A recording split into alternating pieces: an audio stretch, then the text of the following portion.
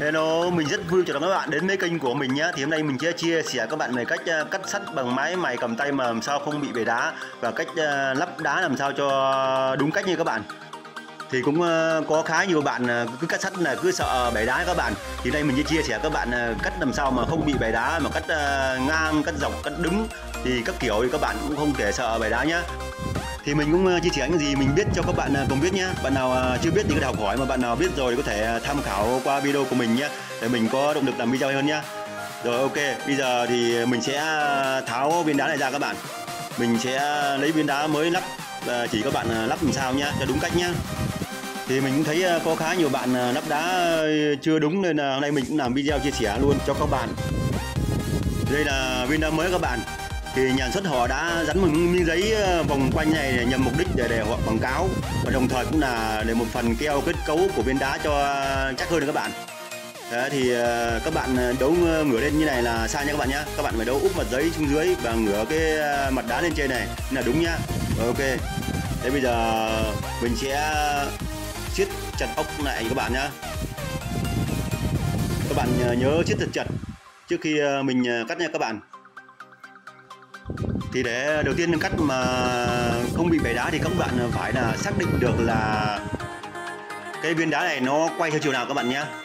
Đó, thì bây giờ mình sẽ vẽ cụ thể ở đây các bạn xem. Thì viên đá này nó có, có chiều quay là theo ngực kim đồng hồ nếu mình, mình nhìn trên diện các bạn. Đấy quay như này các bạn này. Mình sẽ vẽ đây các bạn nhé.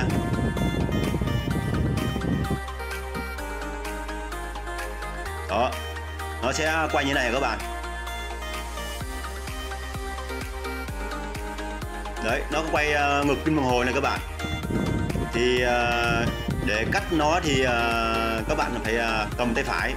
Hãy quay cái mặt đá này sang bên tay trái nhé thì các bạn sẽ cắt uh, ok nha các bạn nhé các bạn đừng có quay mặt đá sang bên phải.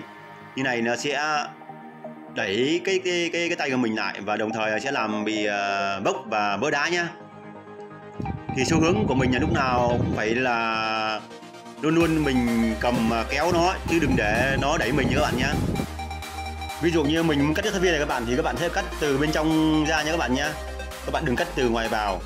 Nhá, các bạn nhớ cho mình nha. Rồi, ok. Bây giờ mình à, sẽ cắt thử cái này các bạn à, coi nhá. Bây giờ mình cầm chặt cái thắt v này mà các bạn sẽ cắt cho các bạn nhé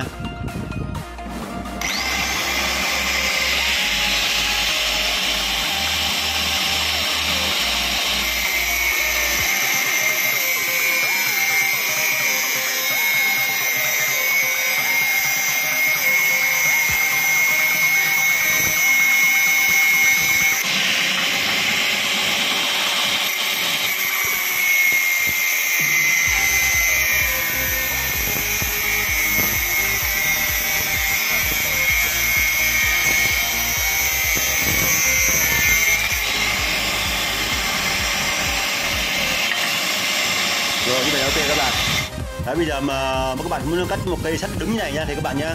Thì nhớ bạn các bạn cầm uh, ngửa máy thì các bạn sẽ để đầu máy ờ, về bên tay phải và đuôi máy bên tay trái nhá. Như này là không được các bạn nhá các bạn phải để cầm như này nhá. Nếu mà úp máy thì các bạn sẽ để đầu máy về bên tay trái đuôi máy về bên tay phải.